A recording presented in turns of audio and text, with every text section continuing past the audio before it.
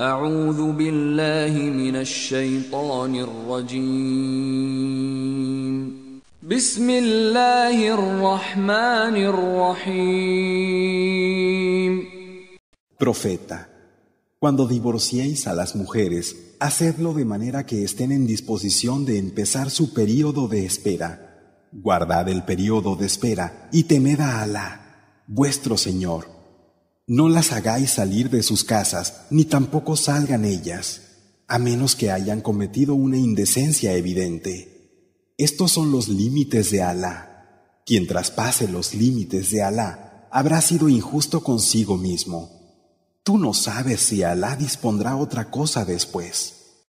Y cuando hayan alcanzado su período de espera, o bien os quedáis con ellas como es debido, u os separáis de ellas como es debido y haced que dos de vosotros que sean rectos sean testigos. Cumplid el testimonio por Alá. A eso se exhorta a quien crea en Alá y en el último día.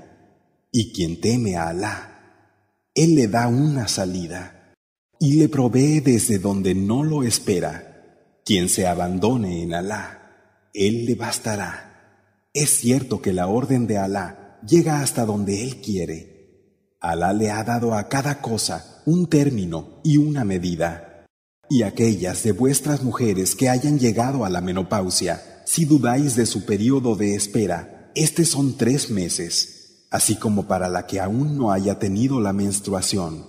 Y las que estén embarazadas, su periodo de espera será hasta que den a luz. Quien teme a Alá, Él le dará facilidad en lo suyo. Ese es su mandato el que Alá ha hecho descender para vosotros. Y quien tema a Alá, Él le cubrirá sus maldades y le aumentará su recompensa. Alojadlas donde os alojáis, según vuestros medios, pero no las perjudiquéis haciéndoles pasar estrechez. Y si estuvieran embarazadas, ocuparos de su manutención hasta que den a luz.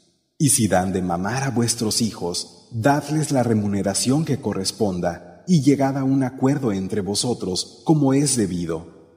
Y si tenéis dificultades, que amamante a su hijo otra, y posea con holgura, que gaste de acuerdo a su holgura, y a quien se le haya dado una provisión restringida, que gaste de acuerdo a lo que Alá le haya dado. Alá no le impone a nadie, sino en la medida de lo que le da. Alá da facilidad después de la dificultad ¿A cuántas ciudades que desobedecieron la orden de su Señor y la de sus mensajeros, las hicimos rendir cuentas con dureza y las castigamos con un terrible castigo? Gustaron las malas consecuencias de su actitud y su fin fue la perdición. Alá les ha preparado un fuerte castigo. Así pues, temed a Alá, vosotros que sabéis reconocer lo esencial, vosotros que creéis. Alá ha hecho descender para vosotros un recuerdo. Un mensajero que os lee los signos de Alá clarificados para sacar a los que creen y practican las acciones de bien de las tinieblas a la luz. A quien crea en Alá y obre con rectitud, le haremos entrar en jardines por cuyo suelo corren los ríos, en los que será inmortal para siempre.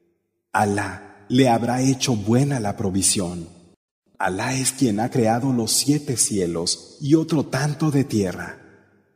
La orden desciende a través de ellos para que sepáis que Alá tiene poder sobre todas las cosas y que el conocimiento de Alá todo lo abarca.